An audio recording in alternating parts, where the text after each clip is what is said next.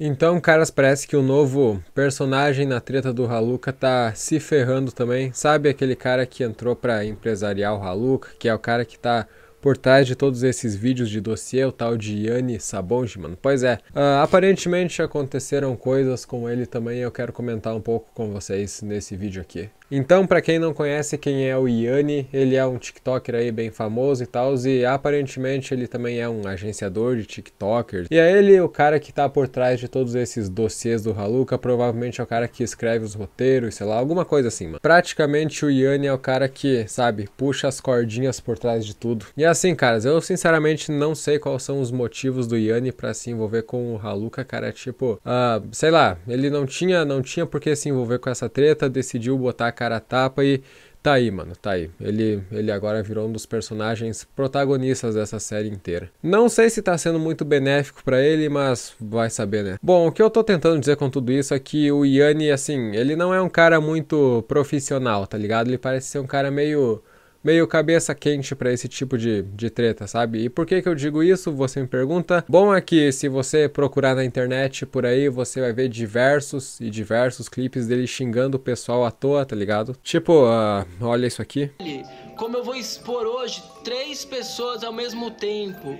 Ele, Juliana Escamocin, que é a bruxa de Blair, o Gabriel Azevedo, que é o bostinha do namorado dela, e o Stott, que é a putinha do carinho, a putinha do recado, né?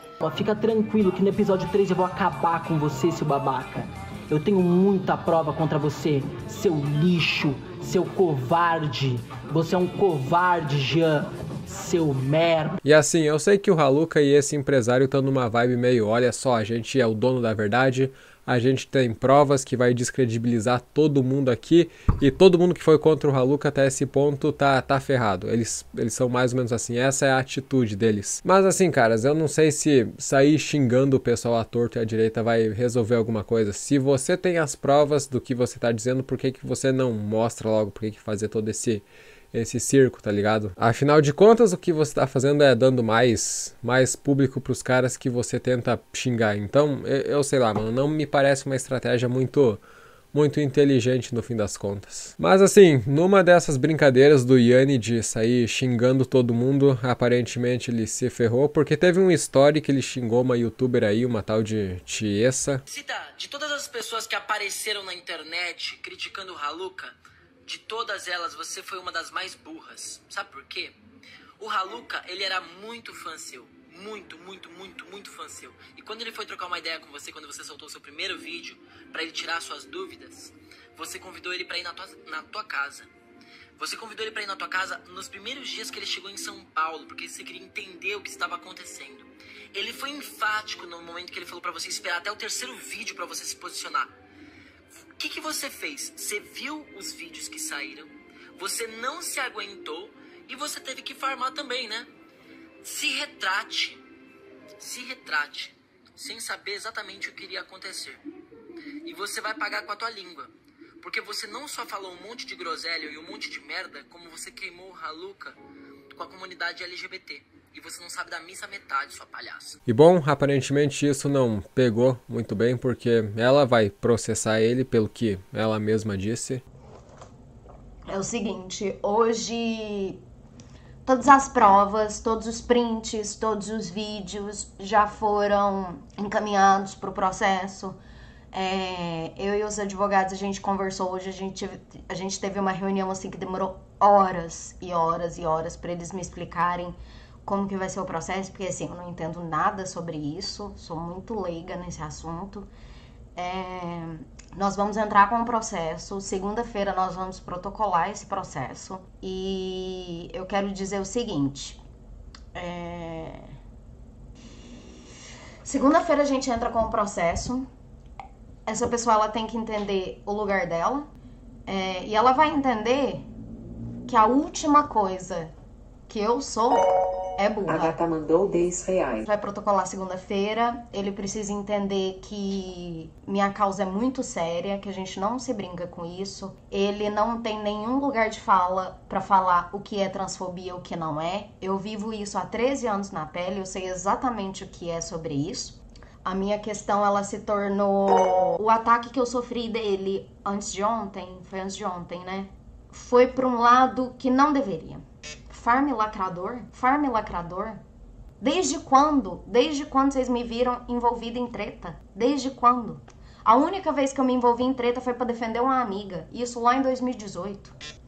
Enfim, é, o meu trabalho aqui na internet ele é muito sério, eu levo ele, ele muito a sério. Pra vir alguém tentar diminuir meu trabalho, tentar diminuir a minha voz, tentar diminuir a minha representatividade, seja dentro da plataforma, sabe? Então, eu acho que isso não pode ficar assim. Então, a gente vai levar isso, a gente vai protocolar o processo na segunda-feira. E eu quero dizer uma coisa: se eu precisar levar esse processo até a última instância, eu vou levar, mesmo que eu gaste todo o meu dinheirinho que eu tenho.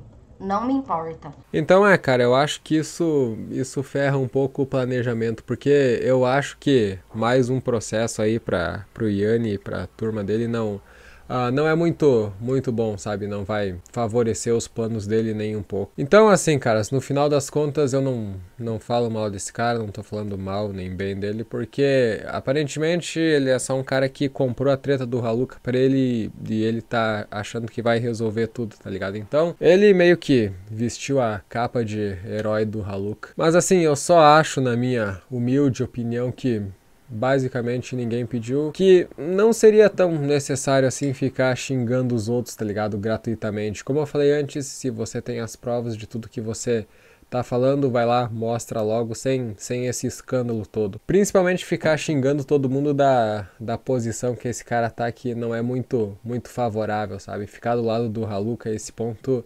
a, tua imagem não vai parecer boa perante ao público. Tanto que nessa brincadeira de ficar xingando e falando mal dos outros, ele provavelmente vai tomar um processo. Então, eu não sei, cara. Eu acho que teria métodos mais mais de boa de levar toda essa situação. Mas assim, cabe a ele decidir o que que, o que, que é melhor para ele pro pro Haluka. Então, eu não vou dar pitaco aqui.